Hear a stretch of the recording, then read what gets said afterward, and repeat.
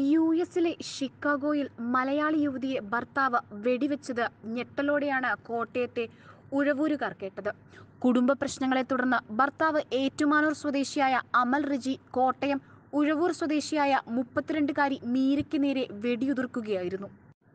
വെടിയേറ്റ ഗുരുതര പരുക്കുകളോടെ ചികിത്സയിലായിരുന്ന മീരയുടെ ആരോഗ്യനിലയിൽ നേരിയ പുരോഗതിയുണ്ട് എന്നാണ് വിവരം. അതേസമയം വാർത്ത കേട്ടപ്പോൾ നടുങ്ങിപ്പോയെന്നാണ് മീരയുടെ നാട്ടുകാർ പ്രതികരിച്ചത്. പുറമേക്ക് വളരെ സന്തോഷകരമായ കുടുംബജീവിതം നയിച്ചിരുന്ന അമൽ റജിക്കും മീരയ്ക്കുമിടയിൽ ഇത്രയും രൂക്ഷമായ പ്രശ്നങ്ങൾ ഉണ്ടായിരുന്നുവെന്ന് വിശ്വസിക്കാൻ ഇരുവരുടെയും ബന്ധുക്കൾക്കും നാട്ടുകാർക്കും ഇതുവരെ സാധിച്ചിട്ടില്ല. ഏതാനും മാസങ്ങൾക്ക് മുൻപ് നാട്ടിലെത്തിയപ്പോൾ ഇരുവരും സന്തുഷ്ടരായിരുന്നുവെന്ന് ഉഴവൂരിലെ മീരയുടെ അയൽവാസികളടക്കം സാക്ഷ്യപ്പെടുത്തിയിരുന്നു.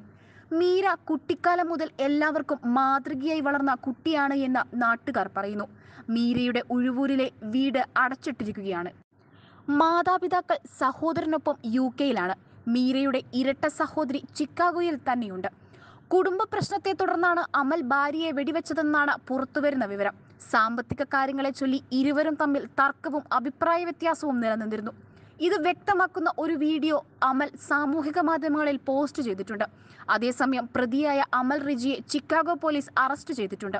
ചിക്കാഗോയ്ക്ക് സമീപമുള്ള ഒരു പള്ളിയുടെ മുറ്റത്ത് വെച്ച് ഇന്നലെ രാത്രി പത്ത് മണിയോടെ അമൽ മീരയ്ക്ക് വെടിവെക്കുന്നത്. ഉടനെ പോലീസ് എത്തി ആംബുലൻസിൽ മീരയെ ആശുപത്രിയിൽ എത്തിച്ചു മീര ലൂതറൻ ഹോസ്പിറ്റലിൽ ചികിത്സയിലാണ്. രണ്ട് അടിയന്തര ശസ്ത്രക്രിയ ഇതിനകം നടത്തി. രണ്ട് തവണയാണ് അമൽ റിജി മീരയ്ക്ക് നേരെ വെടിയുതിർത്തത്. മീരയുടെ കണ്ണിന് സമീപവും വാരിയലിനുമാണ് വെടിയേറ്റത്. പോയിന്റ് ബ്ലാങ്കിലാണ് അമൽ മീരയെ വെടിയുതിർത്തത്. രണ്ടായിരത്തി പത്തൊമ്പതിലായിരുന്നു നേഴ്സായ മീരയും എഞ്ചിനീയറായ അമലും തമ്മിലുള്ള വിവാഹം.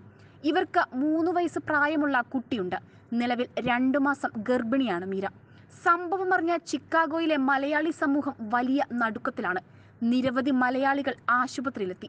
അമലിന്റെ അറസ്റ്റും തുടർ നടപടികളും സംബന്ധിച്ച ഔദ്യോഗിക റിപ്പോർട്ട് പോലീസ് നാളെ പുറത്തുവിടും.